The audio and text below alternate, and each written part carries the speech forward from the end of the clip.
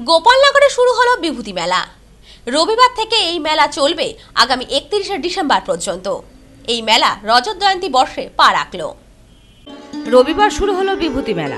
Gopalnagar high school মাঠে চলা এই মেলা চলবে আগামী একত্রিশে ডিসেম্বর পর্যন্ত। এবছর মেলা রজত জয়ন্তী বর্ষে পা রাখল। মেলার আয়োজন করে বিভূতিভূষণ স্মৃতি রক্ষা কমিটি। এদিন বিকেলে শোভাযাত্রার মাধ্যমে মেলার সূচনা হয়। শোভাযাত্রায় কয়েক হাজার মানুষ পা মেলান। মেলার উদ্বোধন করেন বিশিষ্ট সাহিত্যিক আবুল বাসার।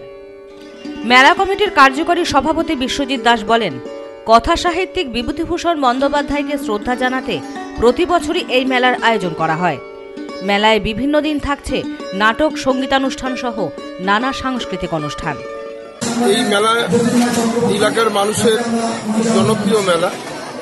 বিধুভূষণ নামাঙ্কিত এই মেলায় অনেক যেমন কলাকুশলী অনেক শিল্পীরা আসেন তেমনি অনেক কবি সাহিত্যিকরা এই মেলা প্রাঙ্গণে এসে উপস্থিত হন এবং এতদ অঞ্চলের মানুষের মিলন ক্ষেত্র তৈরি হয় এই মেলার।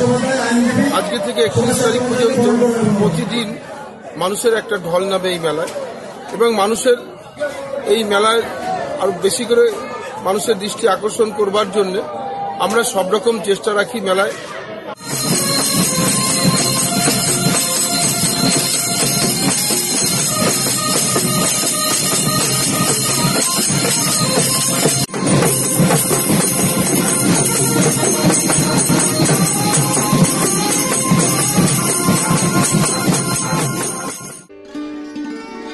Bureau report news no man's land Gopalnagar.